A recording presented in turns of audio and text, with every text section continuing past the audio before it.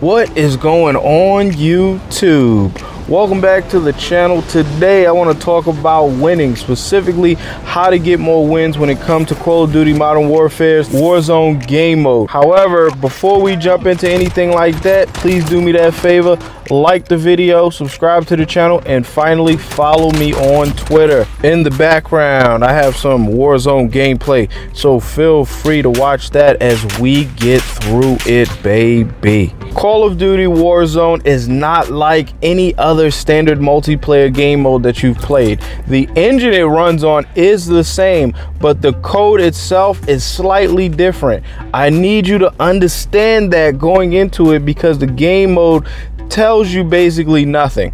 Yeah, there's like a tutorial that you can go through, but it's pretty shit-tastic. I mean, it does go over the basics of how to kill someone when it comes to Warzone, picking up plates, missions, etc., etc. when it comes to that. But anything past basic, it's not gonna cover. Therefore, going into Warzone, it is essential that you change your mindset and be open to an additional style of play. For starters, understand the reality when it comes to the Warzone. You are not going to kill everyone there are a hundred plus enemies scattered throughout the map at any given point and based off my experience you won't have enough bullets to take them all out. Plain and simple. So you have to be prepared to play a little bit stealthy and only take down those that make trouble for you or attract unwanted attention to the area where you are. If you're playing solos that point is even more important. In trios or quads you can get away with a little bit more of an aggressive play style because you have teammates looking out for you. They have your back. They can potentially bring you back if things go south. But otherwise, you only have one life. Then a chance in the gulag to come back, but otherwise you're just dead and you lost. And you don't want to be in that position. So be prepared to play a little bit more stealthy if you're playing by yourself rather than being on a team.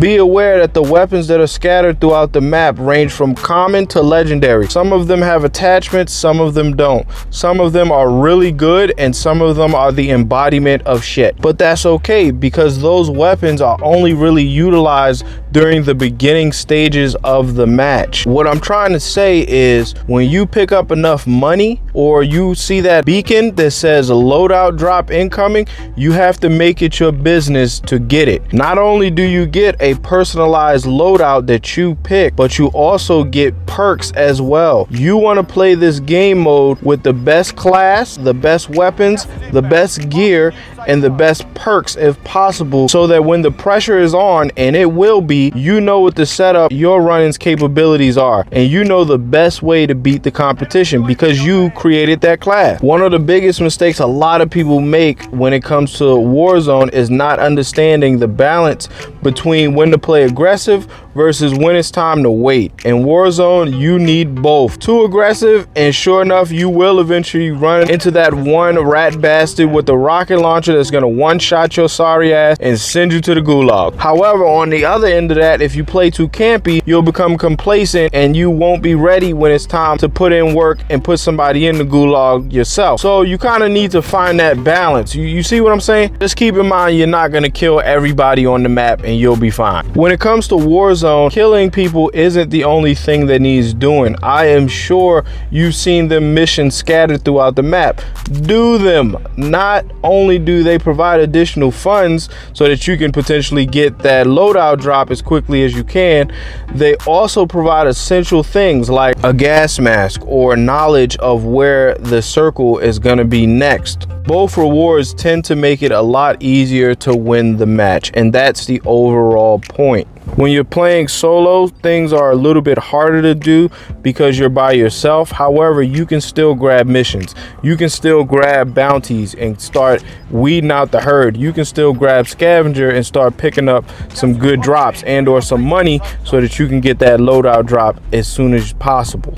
I think I've provided you with a general understanding of what's required when it comes to Warzone to get a W. But just think about it like this. The overall objective is to be the last team and or player alive when the circle completely closes by any means necessary.